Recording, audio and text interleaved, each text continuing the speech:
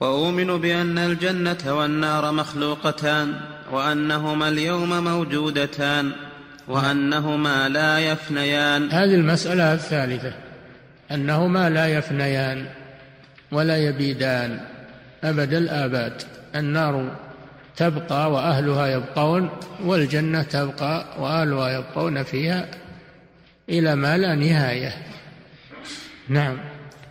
وفي هذا رد على الذين يقولون إن الجنة والنار تفنيان ولا يبقى إلا الله لأنهما لو بقيتا لشاركتا الله في البقاء. فنقول لهما هذا فرق بين بقاء الخالق وبقاء المخلوق. بقاء الخالق ذاتي وأما بقاء المخلوق فهو بإبقاء الله له بإبقاء الله جل وعلا له. فرق بين هذا وهذا. ومنهم من يقول إن الجنة تبقى ولكن النار تفنى. وهذا أيضا قول خطأ. والصواب أنهما باقيتان أبد الآباد. نعم.